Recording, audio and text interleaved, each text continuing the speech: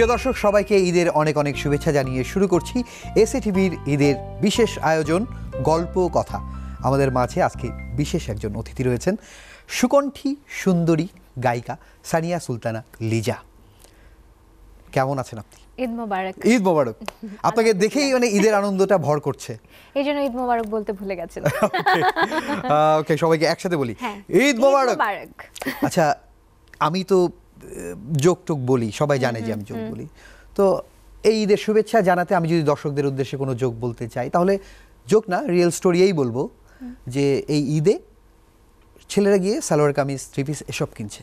বলল এইসব কেন কিনছেন? বলে আরে কি করব? মেয়েরা তো জিন্স টি শার্ট কিনে নিয়ে চলে গেছে এখন আমরা কি করব?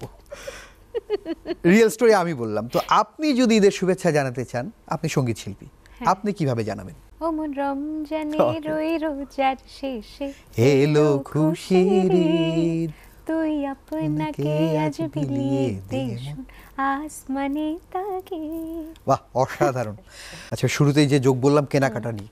তো এখন তো ঈদের যে কেনাকাটা করেন এটা কার টাকায় কিনতে আপনি সবচেয়ে স্বাচ্ছন্দ্য বোধ করেন? নিজের টাকায়? বাপের টাকায় নাকি বয়ফ্রেন্ডের টাকায়? কার টাকায়? বলেন। সত্যি কথা বলি আমি আমার যত কিছু আছে আমি আমার নিজের টাতেই বেশি মানে নিজের খরচেই বেশি কমফোর্ট ফিল করি। আব্বু আম্মুকে আমি ওভাবে আমি ওই তাগিদটা দেই না যে আমাকে কাপড় কিনেই দিতে হবে। উল্টো আমি চেষ্টা করি আমার আশেপাশে যারা আছে তাদের সবাইকে শুধু রেস্টুরেন্টের বিলটা এটা খালি আহ, সব কিছুর বিলেই আমি নিজেই দেই। আমি নিজেই ফিল করি গুড ফিল করি। কাউকে দাওয়াত খেতে নিয়ে গেলাম আর ওকে বললাম বিল দিতে তাইলে তো হলো না। আচ্ছা। হ্যাঁ। সো ওই কার্টিসিটা আছে মনে হয় আমার। ঈদ কোথায় সবচেয়ে আনন্দে কাটান? ঢাকা নাকি আপনার ঢাকায় তো ঈদেই আমার মনে হয় না।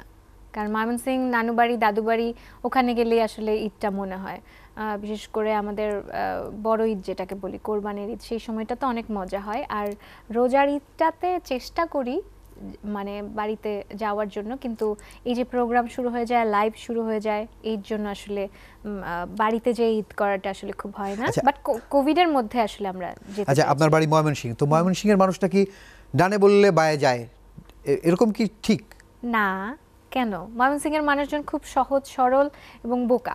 না কিন্তু এই যে ডানের কথা বলে বায়ে যায়। কই আমি ডানের কথা বলে বাইরে আচ্ছা বলেন তো আপনি ময়মনসিংহের ভাষায় বলেন হ্যাঁ। যে আমি ডানে যাব বলেন। আমি ডাইনে যাইম যায়াম না? আমি ডানে যাইবাম। এই তো যাইম যাইবাম ওরকম তাহলে কি হলো? আমি ডানে যাইবাম। এইটা আমি বলছি আমি ডানে যাইম আচ্ছা। এবার বলেন যে আপনি হ্যাঁ। যদি কোনো ছেলেকে ভালোবাসেন হ্যাঁ। তাহলে সেই ছেলে আপনাকে এই ভালোবাসার বদলতে সে আপনাকে বলবে কলিজা। লিজাকে বলবে কলিজা। কলিজা। হ্যাঁ। আর যদি আপনি তাকে ভালো না বাসেন সে আপনাকে কি বলবে? বাড়ি যা। সলিজা যা ও।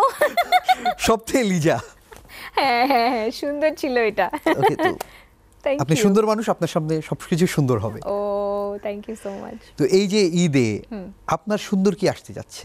মানে যেহেতু গানের মানুষ আমি গানকে নিয়ে আমার যত জল্পনা কল্পনা তো সেখান থেকে বলব যে একটা সুন্দর উইথ মিউজিক ভিডিও নিয়ে একটা সুন্দর গান আসছে আমার সাউন্ড টেক থেকে। সেটা আমার অডিয়েন্স শুনতে পাবে। আর বেশ কিছু কোভিডের মধ্যে আমাদের তো বেশ অনেকটা সময় ছিল ঘরবন্দি অবস্থায়। তখন আসলে টুকটাক অনেক কাজ করা হয়েছে। বেশ অনেকগুলো গান রেডি আছে, জমা হয়ে আছে, যেটা আমি আস্তে আস্তে আমার ইউটিউব চ্যানেল থেকে দিচ্ছি। ঈদের কিছুদিন আগেই মানে রোজার কিছুদিন আগে একটা গান মিউজিক ভিডিও আকারে দিয়েছিলাম, যেটা আমি দেশের বাইরে শ্যুট করেছিলাম। ঈদের পরবর্তী সময়ে মানে এটা একটা কন্টিনিউ একটা প্রসেস একটার পর একটা গান। আপনার নতুন মিউজিক ভিডিও আসতে চলেছে। সেটা তো আমাদের বিশাল একটা প্রাপ্তি হবে। সুরাইয়ার মতো এরকম একটা ধামাকা হলে তো কথাই নেই। ওই রকম ধামাকা বলব না বাট একটু অন্যরকম। এটা এটা অন্যরকম অন্যরকম একটা ভালোবাসার বেশ রোমান্টিক একটা তো গান। এসি দর্শকরা যদি এখনই সেটা শুনতে পারে এই চ্যানেলে তো সেটা আমাদের জন্য বড় প্রাপ্তি হবে। হোক না দুটো অল্প করে একটু শোনাই এটা রিজভি ভাইয়ের কথায় এবং লিখেছে সুর করেছে বেলাল খান এবং আমার সাথে গিয়েছে বেলাল খান. নিজেই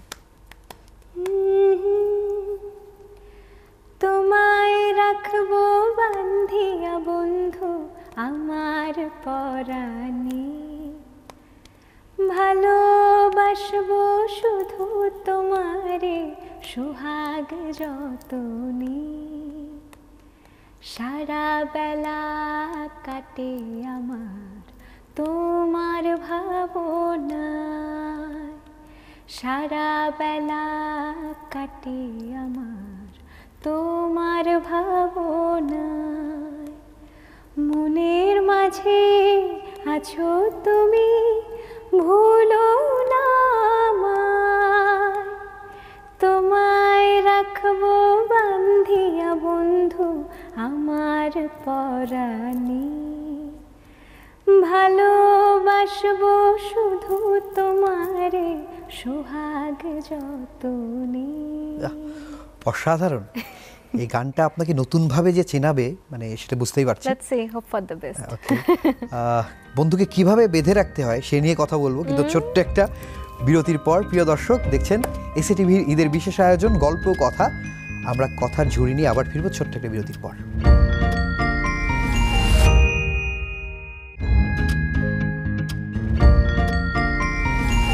প্রিয় দর্শক বিরতির পরে আবারও ফিরে আসলাম ঈদের এসএ টিভির বিশেষ আয়োজন গল্প কথায়। আর গল্প কথায় রয়েছেন গানের মানুষ লিজা। এই যে আপনি গাইলেন বন্ধুকে বাঁধিয়া রাখিব। হ্যাঁ। স্টিফেন ফ্রাঙ্কলিন বলেছেন যে প্রিয়জন বা কাছের মানুষকে ধরে রাখার জন্য বেঁধে রাখার জন্য জাস্ট দুইটা দুই লিঙ্গের মানুষের দুই ধরনের প্রসেস করতে হবে। যে ছেলেদেরকে বলছে যে আপনার আপনাদের ধন সম্পদ আঁকড়ে ধরে রাখেন। দেখবেন যে আপনার প্রিয় মানুষ আপনাকে আঁকড়ে ধরবে। আর মেয়েদের উদ্দেশ্যে বলেছে আপনার আপনাদের সৌন্দর্য ধরে রাখুন। সে এমনি আটকে থাকবে। লিজার পরামর্শ কি? যে সৌন্দর্যের বাইরে আপনার আর কি কি হাতিয়ার প্রিয়জনকে বেঁধে রাখার জন্য কাজে লাগে। সৌন্দর্য তো আমার কাছে মনে হয় এটা ক্ষণস্থায়ী। আচ্ছা। মানুষের ভেতরের ব্যাপারটাই হচ্ছে মেইন সুন্দর আমার মনে হয় যে কেউ চাইলেই সুন্দর থাকতে পারে। এটা সবার ইচ্ছার উপর। কারণ আমি যখন সাজিগুজি বা অন্য যে কেউ যখন সাজে তখন নিজেরটা কিন্তু নিজে ভালো বুঝে। তো আমি চাইলেই সুন্দর করে আমার সবার সামনে আসতে পারে অসুন্দর করেও আসা যায়। তো সৌন্দর্য ব্যাপারটা আমার মনে হয় এটা খুবই বলে কি বলে খুব লাইট হয়ে যায় আমার কাছে মনে হয়। সৌন্দর্য বিষয়টা অত গুরুত্বপূর্ণ না না ওটা গুরুত্বপূর্ণ না যে একজন যদি আপনি দুই ঘণ্টা ধরে সেজে আসছেন এবং এই শাস্তি গিয়ে এখানে দেরি করে এসছেন। না আমার ব্যাপারটা তো হচ্ছে আমাকে সবাই ভালোবেসে তো আমাকে এই জায়গাটা এসে বসিয়েছে তো হ্যাঁ। আমি এটাকে খুব যত্ন করি। হ্যাঁ, সেটা আমার গান করার ক্ষেত্রে আমি খুব যত্নশীল আমি কোথাও যাব সেখানে আমার প্রেজেন্টেশনের ব্যাপারটাও আমি খুব সিরিয়াসলি নেই। সেজন্য এটা হয়েছে। বাট ভালোবাসার মানুষকে ধরে রাখার জন্য সুন্দর একটা মন দরকার। এবং পারস্পরিক বোঝাপড়া এটা খুবই ইম্পর্টেন্ট আমার মনে হয়। আপনার একটা বিখ্যাত গান হচ্ছে হ্যাঁ। পাগলি সুরাইয়া। মানে রাস্তাঘাটে কেউ বলে? হ্যাঁ। পাগলি লিজা বলে না পাগলি সুরাইয়া বলে? না পাগলি সুরাইয়া বলে। কেন বলছি? যে একটা ছেলেকে যখন একটা মেয়ে বলে যে তুমি একটা পাগল তো ছেলেটা বলে যে হ্যাঁ পাগল। আমি তোমার জন্যই পাগল। হ্যাঁ। কিন্তু যখন একটা ছেলে একটা মেয়েকে বলে যে তুমি তো পাগল বা পাগলি। যদি বলে হ্যাঁ। তাহলে সাথে সাথে মেয়ের রিয়াকশন হচ্ছে আমি পাগল? তুমি পাগল? পাগল। তোর বাপ পাগল তো চোদ্দ গোষ্ঠী পাগল। তো যে গানের জন্য বিখ্যাত এইভাবে বললে আপনি কি রিয়াক্ট করেন? না আমার খুব ভালো লাগে কারণ এটা তো আমার মনে হয় একটা বিশাল পাওয়া। কারণ আমাদেরকে শিল্পীকে গানের মাধ্যমে চিনবে এটা তো সবার আমার মনে হয় স্বপ্নেই থাকে যে আমাকে গানের নাম ধরে আমাকে চিনুক। তা আমার আমার ক্ষেত্রে এই ব্যাপারটা গানের মাধ্যমে হয়ে গেছে। ইভেন অনেক স্টেজে দেখা যায় যে আমার আমাকে অ্যানাউন্স আমাকে ডাকছে এভাবে অ্যানাউন্সমেন্ট হচ্ছে যে পাগলি সুরাইয়া আসছে বা কোথাও গেলে কেউ হঠাৎ করে হ্যাঁ পাগলি সুরাইয়া, লিজা। হুম, তো ভালো লাগে। এটা আমার মনে হয় যে সবারই একটা স্বপ্নের মতো থাকে এবং ইটস নট ব্যাড অ্যাকচুয়ালি এটা আসলে কোনো bad কথায় যাব না? ব্লেসিংস মনে হ্যাঁ হয়। ঈদের সময়টা আমরা আসলে সবাই আনন্দে থাকতে চাই এবং আমাদের দর্শকরা আপনাকে পেয়ে আনন্দ তো পাচ্ছেই। তো ঈদের মানে হ্যাঁ। সবচেয়ে আনন্দের বিষয়টা কি বা আপনার ক্ষেত্রে? এখন তো বড় হয়ে গেছি ছোটবেলায় এক হ্যাঁ, ধরনের আনন্দ ছিল। তো এই সময় আসলে কিসে আনন্দ? এখনের আমার আনন্দ হয় যে নতুন গান এই আনন্দ। এইটা আনন্দ হয়। তারপর ঈদের মধ্যে ঈদের সময়টা যখন যদি বাড়িতে যেতে পারি দেশের বাড়িতে তাহলে খুব ভালো লাগে। আর একটা আনন্দের কথা যেটা হচ্ছে সেটা ঈদের দিনটা তো আমরা কাজ ওভাবে করি না। আগের সময়টা দেখা যায় যে প্রতিদিনই কাজ করতে হয় আমাদের। পুরো রমজান মাস জুড়িয়ে আমাদের কাজ করতে হয়। তো ঈদের সময়টা দেখা যায় যে একটা দিন সবাই মিলে বাসার সবাই মিলে একসাথে খাওয়া দাওয়া হচ্ছে একসাথে গল্প করছি এবং সবাই মিলে এখন তো আছে যে সবাই সবার নতুন কাপড় পরে সবাই ছবি তুলছে এবং এটা সোশ্যাল মিডিয়াতে পোস্ট করছে। তো ওই ব্যাপারটাও আমার কাছে ভালো লাগে। আপনি নাকি আপনার বিষয়ে আপনার কাছের মানুষদের কাছ থেকে এটা শোনা যায় যে আগে যেটা হতো যে আপনি যখন শখে গান করতেন ফ্রেন্ড সার্কেলে বাড়ি আত্মীয় স্বজন আসলে বা ঈদের সময় এই একটা গান শোনানো আপনি গাইতেন। এখন নাকি আপনি ইউজ করল যে পেমেন্ট ছাড়া এটা এটা কি সত্যি? না এটা সত্যি না বাট এইটা সত্যি যে আমাকে মানে হুট করে যদি কেউ বলে বসে যে একটা গান শোনান বা একটা হ্যাঁ। গান শোনাও তখন একটু আনইজি লাগে আমার। যে payment ছাড়া গাইতে একটা- না পেমেন্ট ছাড়া না ও আমি অত পেমেন্ট পেমেন্ট করি না বাট একটু একটু আনইজি লাগে যে হঠাৎ করে কেউ একটু বলল এটা আনইজি লাগে। আর এমনিতে তো গল্প আড্ডায় বসে গান করছি নিজে নিজে তো সারাদিনই বাসায় গান করতেছি আমি। তো ওইটা পেমেন্টের জন্য না। তো আপনি কথা ঘুরে কেন পেমেন্টের কথা বলতেছেন? বললাম আর কি না আমি এত পেমেন্টের পাগল না। সমসাময়িক কাকে আপনি বেশি হিংসা করেন? যে কে আপনাকে টেক্কা দিয়ে এগিয়ে গেল? এরকম কেউ আছে? তারপর আপনি আপনি কাকে কাকে মার্ক আমার করেন? কাউকে আমার আমার মনেই হয় না। এই ঈদে অনেকের মিউজিক ভিডিও হ্যাঁ। অলরেডি এসে সবার গেছে। গান আমার কাছে ভালো লাগে তো আপনার কারটায় আপনার হিংসা জ্বলছে যে আমি কাউকে হিংসাই করি না না আমার কাছে মনে হয় না আমি আমার নিজেকেই হিংসা করি। নিজেকেই চিন্তা করি যে এই গানটা এরকম হয়েছে এর পরে গানটা আমি আরও সুন্দর করব। তারপরে হয় না যে আহ, আমি এ আমাকে মানে একটু এগিয়ে যাচ্ছে এরকম একজনও? আমার সাথে টক্কর দেওয়ার মতো কেউ নাই। আচ্ছা ইন্টারন্যাশনালি বলেন যে ইন্টারন্যাশনালি বলব না ইন্টারন্যাশনালি তো বলার দরকার নেই। আমরা যে আমাদের এই ফিল্ডে কাজ করছি।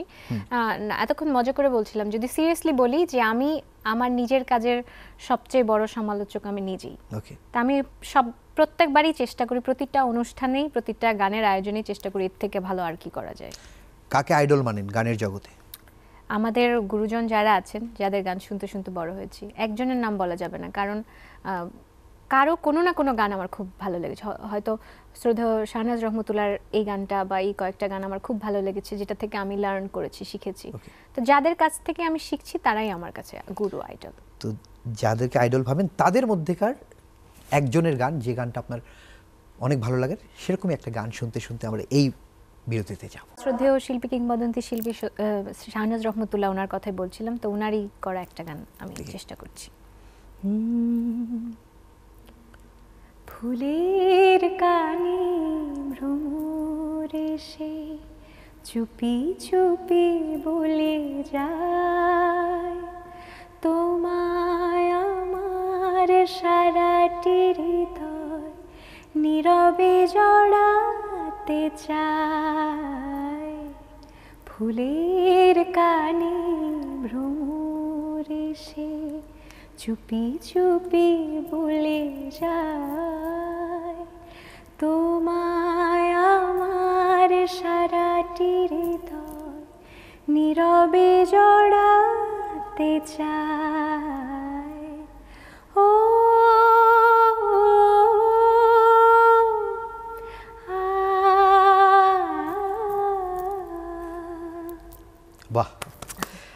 আপনি শুধু যদি চোখটা একটু এরকম টিপিস টিপিস করে গাইতেন হ্যাঁ, হ্যাঁ। তাহলে আপনার ষাট দশকের সেই ববিতার মতোই আপনাকে লাগতো। কনসেন্ট্রেট করেছি গানে। আচ্ছা। সামনে কীরকম দেখা যায় এটা তো জানি না। আচ্ছা এর পরের গানের চেষ্টা করব। গান শুনছিলাম। হ্যাঁ। বিরতিতে যাবার সময় হলো। ছোট্ট একটা বিরতির পর আবার ফিরে আসব। অপেক্ষায় থাকুন ফিরে আসছি গল্প কথা নিয়ে।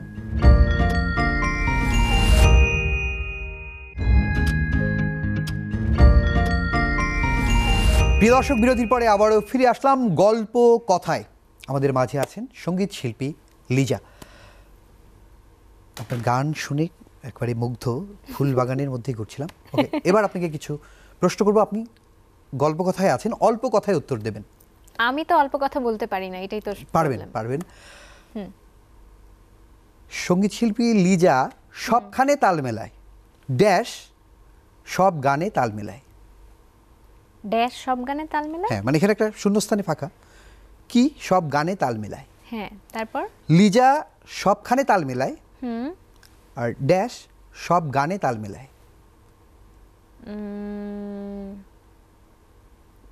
রনি সব গানে তাল মেলায়। না আবার বলেন আপনি একজন শিল্পী আপনি জানেন যে কি তাল মেলায় সব জায়গায় তবলা এই তো আমার কিউ দিতে হলো কেন?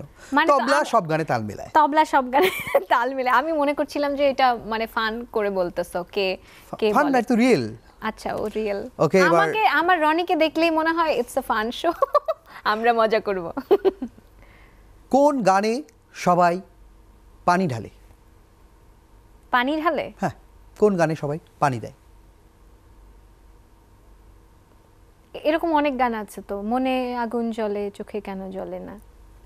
কোন গানে সবাই পানি দেয়। পানি দেয়? একজন সংগীত শিল্পী এটা জানেন না। গানে তার দখল এতটুকুই। গানে দখল এতটুকু ঠিক আছে। ওকে আমি বলে দিচ্ছি। কোন গানে পানি দেয়? বা গানে। ও বা গানে? অনেকের বাড়িতেই চুরি হয় ডাকাতি হয়। হ্যাঁ। সংগীত শিল্পীর বাড়িতে খুব একটা ডাকাতি হয় না। কেন? কারণ সকাল দুপুর রাত দুপুর আমরা রেয়াজ করি তাই? এটা একটা কারণ। কেন চুরি হয় না? ডাকাতি হয় ডাকাতি না হয় না হ্যাঁ। বিশেষ করে ডাকাতি হয় না কেন? আমি জানি না। কঠিন প্রশ্ন। সহজ প্রশ্ন হচ্ছে ডাকাতদেরও গান থাকে শিল্পীদেরও গান থাকে। আমি এগুলোতে খুব কাঁচা আমি বুঝি না। ওকে তো প্রত্যেকেই তার হাতিয়ারটা ব্যবহার করে। তো একজন সংগীত শিল্পীর তার মেইন অস্ত্রটা হচ্ছে গান। এই গান দিয়ে কি কি সমস্যা সমাধান করা যায়? অনেক সমস্যার সমাধান করা যায়। যেমন আমি আমি আমারটা বলি যেমন কোনো কঠিন সিচুয়েশন হলে আমি যোগ বলে তাদেরকে একটু কুল ডাউন করা কুল যায়, ডাউন। করা যায় সিচুয়েশনটাকে পাল্টে দেওয়া যায়। তো এক্ষেত্রে গান কোন কোন জায়গায় ব্যবহার করে মানে কোনো কিছু হাসিল করা মজা করে বলব না সিরিয়াসলি বলব? মজা করে সিরিয়াসলি বলতে হবে। মজা করে তো পারি না আমি আসলে। সিরিয়াসলি যদি বলি গানের আমার কাছে মনে হয় যে গানের একটা হিলিং পাওয়ার আছে। গান দিয়ে মানুষের অসুখও সারানো যায়। কীভাবে এটা সম্ভব? আমার মনে আমার মনে অনেক অসুখ। মনের মধ্যে আছে এটা এটা আমার মনের মধ্যে আগুন জ্বলে বুকের মধ্যে। আছে। অনেক সময় দেখা যায় যে অনেক গান গান শুনলে মন খারাপ থাকলে মন আরও খারাপ হয়। আচ্ছা। অনেক গান শুনলে আবার দেখা যায় যে মন ভালো হতে থাকে। এটা আমি আমার বেলায় কাজ করাই। যেভাবে আমার খুব খারাপ লাগলে বা খুব ভালো লাগলে আমি গান আমি খাঁটি বাংলায় প্রশ্নটা করি। হ্যাঁ। গান দিয়ে কজনকে পটিয়েছেন? গান দিয়ে পটিয়েছি। আমি তো ইচ্ছা করে কাউকে পটাই না। সবাই পটে পটে আসে আচ্ছা। তারপরে পটে আর কি। বাট পটানোর জন্য গান আসলে করিনি। আমার মানে- মনে হয় আমি গান আমি আমার নিজের ভালো লাগা থেকে গাই। আচ্ছা। বাট আমার জায়গায় রনি হলে অনেক পটাইতো আচ্ছা আমি যখন কাউকে ইমপ্রেস করার জন্য যোগ বলি হ্যাঁ। মানে পটে না ফুটে। ফুটে? হ্যাঁ আমি ময়মনসিংহে যখন হ্যাঁ। ঘুরলাম তো সংগীত শিল্পী লিজা কেমন? এই প্রোগ্রামে আসবে যেহেতু আমি ভাবলাম একটু অ্যানালিসিস করি। সবাই আচ্ছা। গদ বাঁধা কথা বলে। তো আমি ময়মনসিংহের কিছু লোকজনের সাথে কথা বললাম। দুই একজন আমাকে জানালো কে? ওই লিজা? সে তো একটা পাক্কা খেলোয়াড়। এটা কেন বলল আমি ঠিক জানি না কেন বলেছে? ওই তো আমি ব্যাডমিন্টন খেলতাম আচ্ছা, সেই জন্যই। পাক্কা খেলোয়াড় বলে মনে আছে এটা পেরেছি। ব্যাডমিন্টন খেলায় তো আপনি চ্যাম্পিয়ন হ্যাঁ চ্যাম্পিয়ন ছিলাম এবং ব্যাডমিন্টন এখনও আমার খুব মানে ভালোবাসার একটা খেলা এবং আমি আমার মাঝে মাঝে মন খারাপ হয় যে এখনও কেন খেলতে পারছি না। মন নিয়েও তো খেলেন আপনি। মন নিয়ে খেলি না র্যাকেট আর ফেদার নিয়েই খেলি। ওকে ভালো নাচ করেন নাচিয়েছেন কজনকে? নাচ আমি ভালো করতে পারি না নাচটা চেষ্টা করি। ওই যে বললাম পটাইতেও পারি না নাচ নাচাইতেও পারি না। ওকে। এই দুই জায়গায় অনেক আনাড়ি। ওকে। গান তো আপনার প্রধান হাতিয়ার কিন্তু এর হ্যাঁ। বাইরে স্টেজ শোতে আপনার সঙ্গে অনেক শো করেছি। হ্যাঁ প্রচুর শো করে রনি। তো আমি যখন নাম ঘোষণা করি যে মঞ্চে আসছে সংগীত শিল্পী লিজা ক্রাউডের একটা হাততালি হয়। কারণ তারা জানে যে লিজাকে চেনে হাততালি দেয়। কিন্তু যখন আপনি ঢুকেন তারপর চিৎকারটা আরও জোরালো হয়। হ্যাঁ। এবার নিশ্চয়ই দেখে। তো আপনি তো এই যে এই অস্ত্র ফেস্টরা হ্যাঁ। এইটা অস্ত্র হিসেবে আপনি কতটা নিজে ব্যবহার করেন? অস্ত্র বলব এটা? এটা আল্লাহ বানায় দিছে। আমি খুব মানে ব্লেসড যে আমার সুন্দর একটা চেহারা আছে। কিন্তু আমার মনে হয় না যে অস্ত্র দিয়ে সব কাজ হয়। ওকে যেই ভয়েস তো এটা হচ্ছে মেইন কারণ গান শোনার জন্য মানুষ বসেছে। কতক্ষণ আর অস্ত্র দেখবে? চেহারা কতক্ষণ দেখবে? হয়তো একটা বা দুটো। তারপরে তো গানই গান দিয়েই আসলে মানুষের মন জয় করতে হবে। তো এই অস্ত্র কাজে লাগিয়েছি? কাজে লাগাই নাই। অস্ত্রটাকে মানে একটা এটা হচ্ছে এরকম যে আমার কাছে একটা কিছু আছে সেটাকে আমি খুব নার্চার করছি সুন্দর করছি যতটুকু সুন্দর করে প্রেজেন্ট করা যায়। এটাই করেছি। প্রিয় দর্শক আপনাদেরকে ঈদ মোবারক যারা এতক্ষণ আমাদের সঙ্গে ছিলেন তাদের প্রতি আমাদের অনেক অনেক ভালোবাসা। আপনাদের ঈদ সুন্দর কাটুক পরিবারের সবার সঙ্গে আনন্দমুখরভাবে কাটুক এটাই আমাদের প্রত্যাশা। ভালো থাকবেন। একটা গান শুনব আপনাদের মনটা যেন আরও ভালো হয় ঈদটা যেন আরও ভালো হয় সেই কারণে। প্লিজ। পাগলি সুরাইয়াই করি হ্যাঁ, ঈদের অবশ্যই। সময় মজা করে করি গানটির কথা লিখেছে রবিউল ইসলাম জীবন সুর সংগীত করেছে আরিফিন রুমি আমার সেকেন্ড সোলোর গান ছিল। রসিক নাইয়া দেখো না চাইয়া মনু তাহলা তোমারে পাইয়া দেখি তোমার নয়ন ঘুরাইয়া আমি যে তোমার পাগলি সুরাইয়া। এসো না একটু কাছে দাও না একটু ছুঁয়ে ও বাবু বাবুজি পারদেসিয়া এসো না একটু কাছে দাও না একটু ছুঁয়ে ও বাবুজি পারদেসিয়া আহ! ডান্সটা মিস করছিলাম কিছু করার নেই। ওকে বিদায়।